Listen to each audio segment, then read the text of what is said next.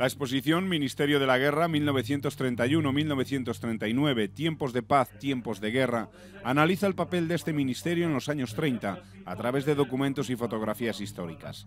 Más de 130 objetos e imágenes que reflejan la importancia de un ministerio que de repente se convirtió en el centro de la política nacional al verse obligado a encabezar la defensa de la República ante el golpe de Estado militar. Vamos recorriendo con el hilo argumental de qué eh, obligaciones tuvo que asumir el Ministerio de la Guerra para tratar de dar respuesta a lo que la historia les iba pidiendo a medida que pasaba el tiempo.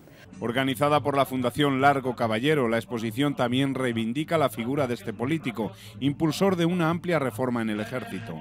Conocer eh, nuestra historia, conocer los errores y los aciertos es también un objetivo muy importante. Si con esta exposición hemos contribuido en algo a ese conocimiento, pues nos daríamos por satisfechos.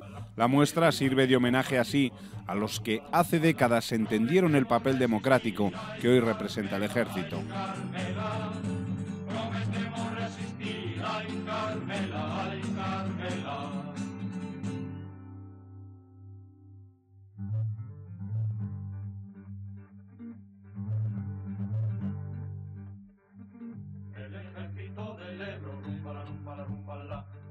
El ejército del Ebro, rumba, rumba, rumba, Una noche el río pasó, ay Carmela, ay Carmela.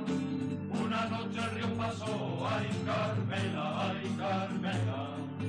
Pero nada pueden bombas, rumba, rumba, rumba, Pero nada pueden bombas, rumba, rumba, rumba, Donde sobra corazón, ay Carmela.